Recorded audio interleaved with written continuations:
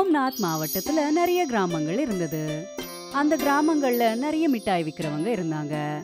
அவங்களுக்கெல்லாம் பிராஞ்சல் அப்புறம் முரளி தான் மோத்திச்சூர் லட்டுவை கொடுத்துட்டு இருந்தாங்க. பிராஞ்சல் ஒரு விதவை.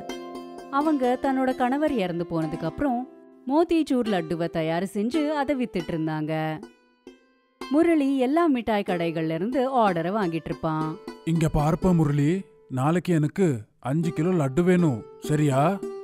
ஆ சரி. நாளைக்கு காலையில் எடுத்துட்டு வரேன் அப்புறம் அடுத்த நாள் காலையில லட்டுவை டெலிவரி செஞ்சுட்டு இருப்பான் ஐயா எடுத்துக்கோங்க. நீங்க கேட்ட அஞ்சு கிலோ லட்டு. இந்தாப்பா உன்னுடைய பணம்.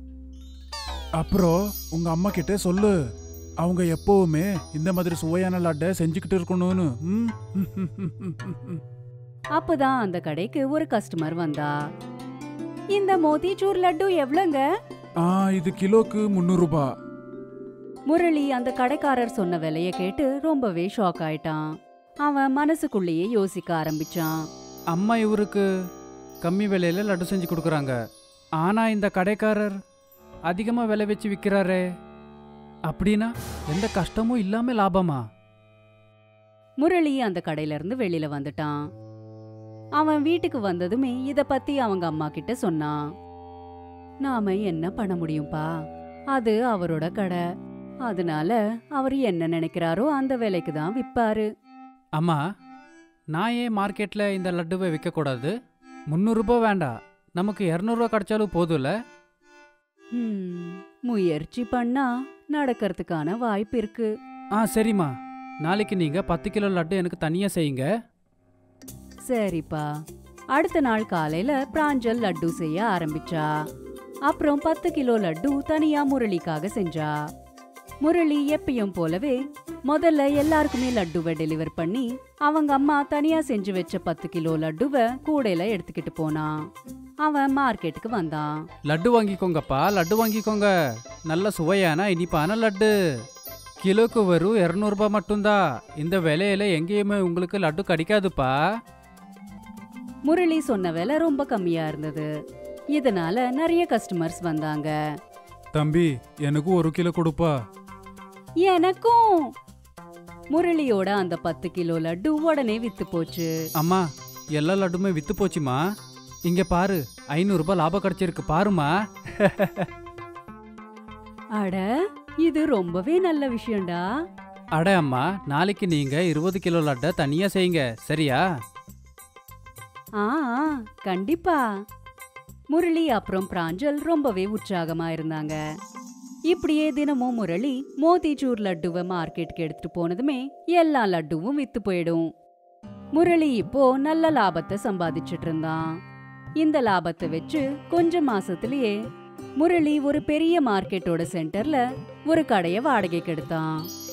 அவன் கடை வச்சதுக்கு அப்புறமாவும் முந்தி போலவே கிலோ லட்டு 200 ரூபாய்க்கு தான் வித்துட்டு இருந்தான்.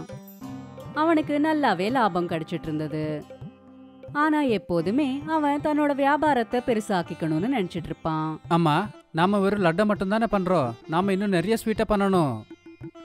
ஆ பூந்தி லட்டு கடலை மாவு லட்டு பர்ஃபி. நாளையில இருந்து இது எல்லாத்தையும் கொஞ்சம் கொஞ்சம் செஞ்சு வச்சிடுறேன். ஆ சரிம்மா.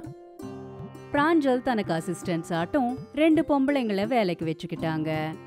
அவங்க இப்போ வேற கடைக்காரங்களுக்கு மோத்திச்சூர் லட்டுவையும் செஞ்சுட்டு இருந்தாங்க அப்புறம் அவங்களோட பையனோட கடைக்கு மோத்திச்சூர் லட்டுவோட சேர்த்து இன்னும் பல விதமான மிட்டாய்களையும் செஞ்சாங்க. காலையிலேயே எல்லா மிட்டாயும் ரெடியா இருந்தது. இத பாருடா முரளி எல்லாம் ரெடியா இருக்கு. அட வாவ்மா வாவ். முரளி எல்லா மிட்டாய்களையும் எடுத்துக்கிட்டு அங்கிருந்து கிளம்பிட்டான். முரளி அந்த மிட்டாய்களை அழகா அடுக்கி வச்சான். அட அண்ணே இன்னைக்கு உங்க கடையில நிறைய மிட்டாய் இருக்கே. அந்த பர்ஃபி எவ்வளோ அக்கா இது இரநூறுபா கிலோ. எனக்கு ஒரு கிலோ கொடுங்க.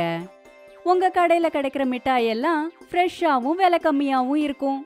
அதனால தூரமா இருந்தாலும் இங்க தான் வந்துட்டு இருப்பேன். அட இது ரொம்ப நல்ல விஷயம்க்கா. கொஞ்ச நேரத்துக்கு அப்புறம் இன்னொரு கஸ்டமர் மிட்டாய் வாங்குறதுக்கு வந்தாரு. அவர் கூட ஒரு சின்ன பொண்ணும் இருந்தா. அங்கிள் உங்ககிட்ட சாக்லேட் மிட்டாய் ஏதாவது இருக்கா? இல்ல பாப்பா. இதிலிருந்து ஏதாவது எடுத்துக்கோ. இல்ல அங்கிள் எனக்கு சாக்லேட் மிட்டாய் மட்டும்தான் வேணும். வாங்கப்பா. நாம வேற ஒரு கடைக்கு போலாம். அந்த குழந்தை அவங்க அப்பாவை கூட்டிக்கிட்டு போயிட்டா. இங்க முரளி இனிமே அவனோட கடையில சாக்லேட் மிட்டாயும் வைக்கணும்னு முடிவு பண்ணான் சாயந்தரம் வீட்டுக்கு வந்ததுமே தன்னோட அம்மாக்கு எல்லாத்தையும் சொன்னான் அம்மா நாம புதுசா சாக்லேட் ஸ்வீட்ஸை செஞ்சாகணும். அதென்னடா சாக்லேட் மிட்டாயி? அதாவது சாக்லேட் லட்டு? சாக்லேட்டால மோத்திச்சூர் லட்டு? ஆ ஐடியா நல்லா இருக்குமா? இந்த மாதிரி சாக்லேட் லட்டு எங்கேயுமே இருக்காதுல்ல? ஒருவேளை செஞ்சு பார்க்கலாம் ஒருவேளை நல்லா வித்துச்சுன்னா? சரி. அடுத்த நாள் பிராஞ்சல் ரொம்ப மெலிசா பூந்திய செஞ்சா. அதுக்கப்புறம் அந்த பூந்திய சாக்லேட் சிரப்ல சமைச்சா. அந்த கலவையோட சூடு கம்மியானதுக்கு அப்புறம் பிராஞ்சல் சின்ன சின்ன லட்டுவை செஞ்சாங்க. ஐயோ அம்மா. என்னம்மா? சாக்லேட் லட்டை பார்க்க இவ்வளோ நல்லா இருக்கு. ஹஹா. லட்டு என்னவோ செஞ்சு வச்சுட்டேன். ஆனா கருப்பு லட்டு யாரு சாப்பிடுவா? அட சாப்பிடாவாங்கம்மா எல்லாரும் சாப்பிடாவாங்க நீ வேணும்னா பாரு.